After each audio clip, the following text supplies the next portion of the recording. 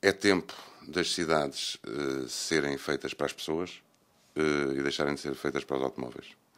E eu penso que, que António Costa é o político que está mais preparado para iniciar esse, essa situação, para iniciar esse novo momento, para fazer uma cidade mais virada para, para, os, habitantes, para os cidadãos, para os que cá trabalham, para os que cá vivem, para os que cá moram, e menos virado para os carros, porque isso não é.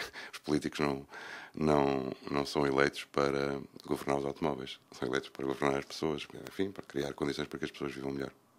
António Costa é um bom governante? É.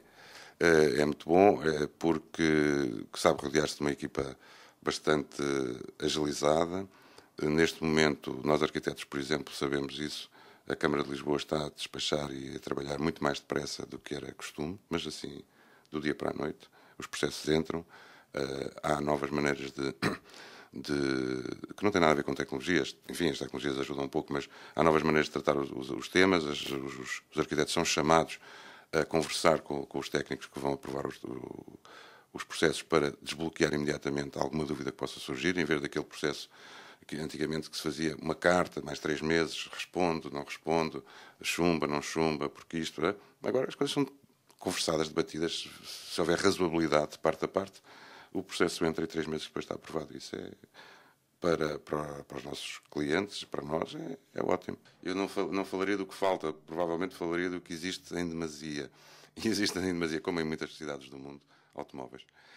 E é preciso resolver este problema, é preciso resolver o problema dos transportes públicos, porque não podemos continuar dependentes do transporte privado. O transporte privado é muito confortável, é muito bom, é muito simpático, mas toda a gente percebe que eh, causa um problema enorme em todas as cidades do mundo.